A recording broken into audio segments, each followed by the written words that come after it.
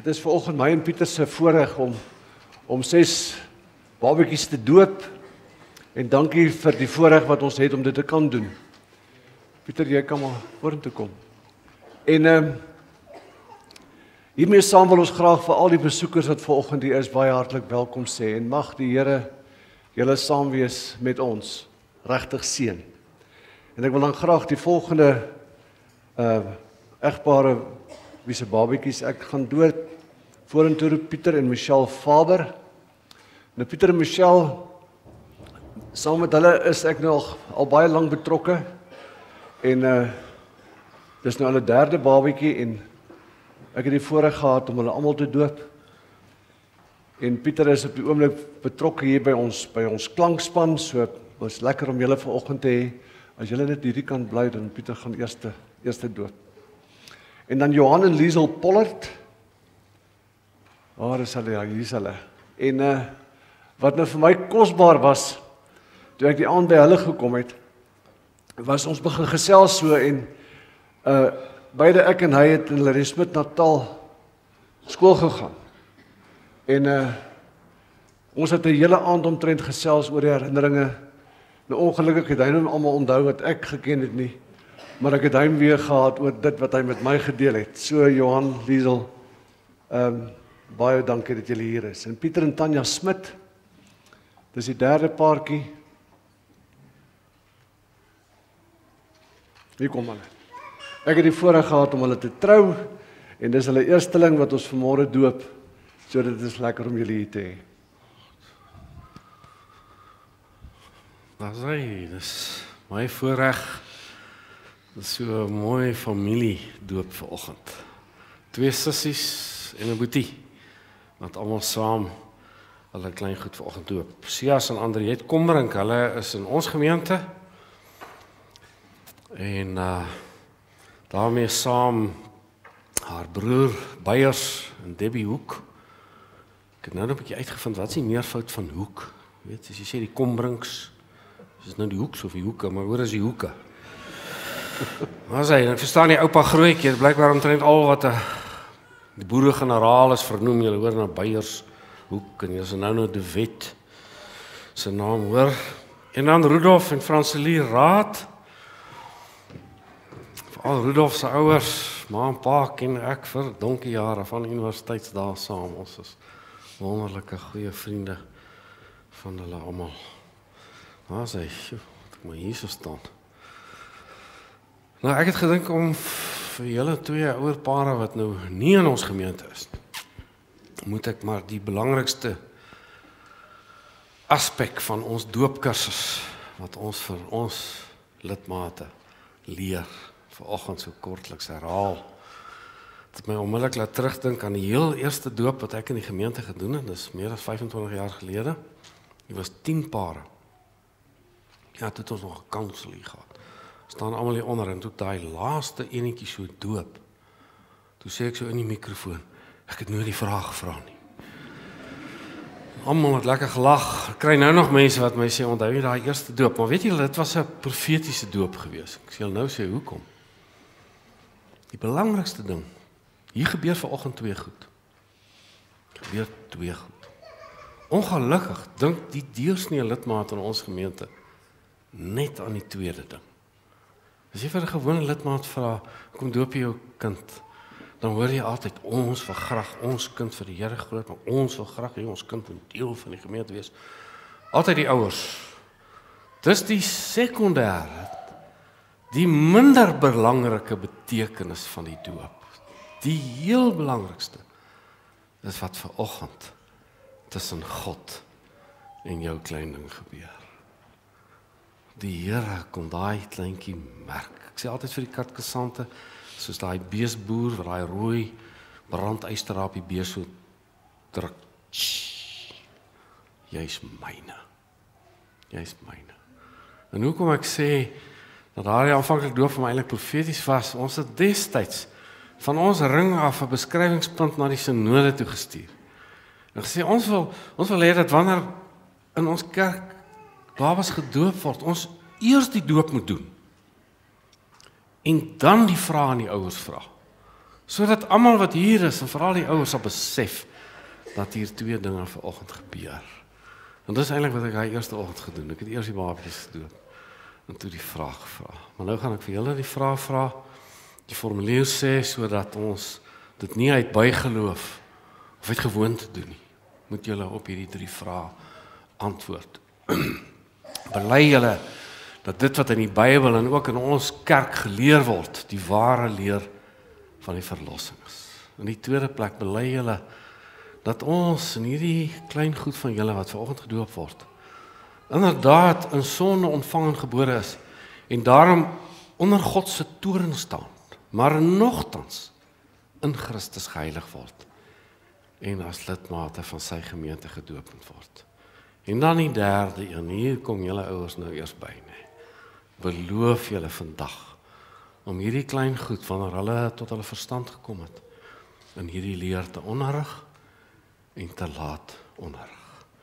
Kom ons hoor julle antwoorde na die komrings. Oenie hier kom ons. Julle moes eers gestaan. Dis die raad daar agter. in die hoeke. Vader en die Pollard en die Smitte nee. Kom ons vra dat die klein goed ingedring word.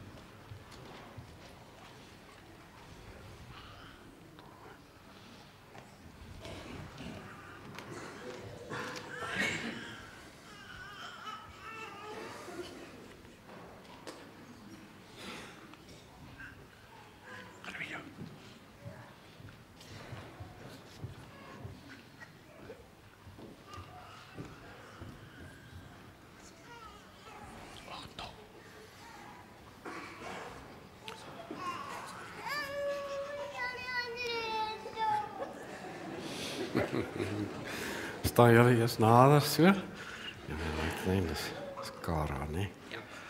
Oepsie. Hey. Kara, kom bring.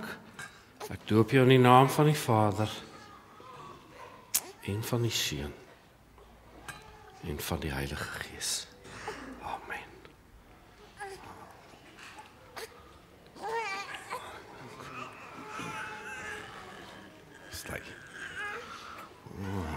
Die generaal. OK. Ah, ons stem dik maak. Dis Cornelis, né? Nee? Cornelis de Wethoek. Doop jou in die naam van die Vader en van die Seun en van die Heilige Gees. Amen.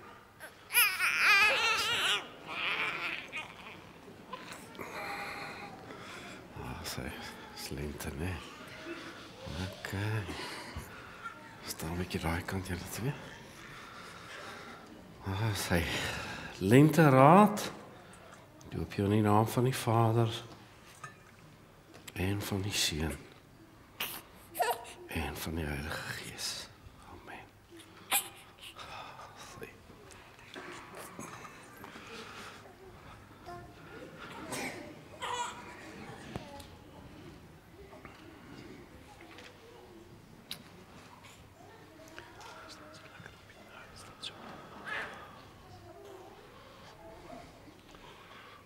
Lukas Barrett Vader, ek doop jou in die naam van die Vader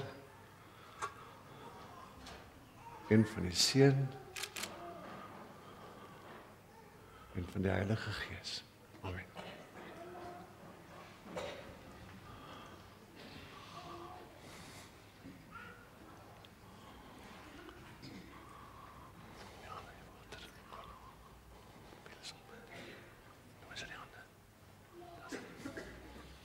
Rudolf Daniel Pollard, ek doop jou in die naam van die Vader en van die Seun en van die Heilige Gees. Amen.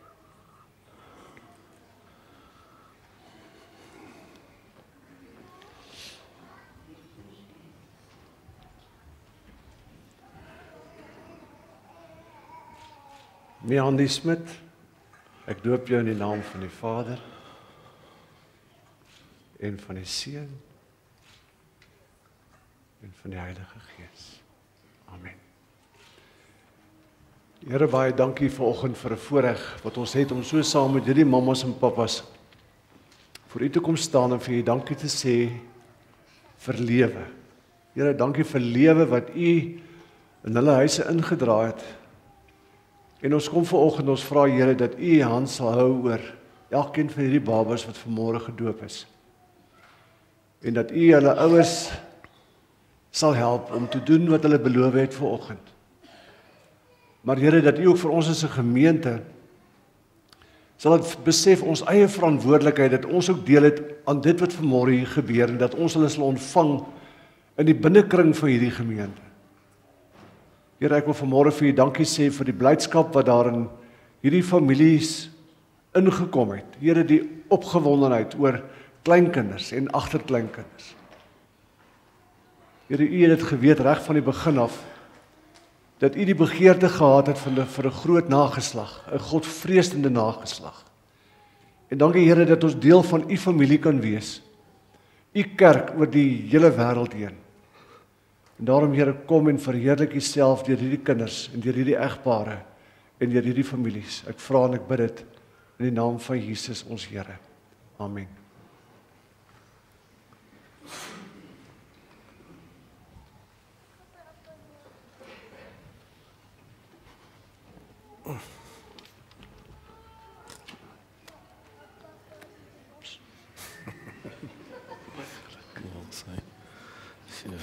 Dievs, jau vietā, tas ir. Jep.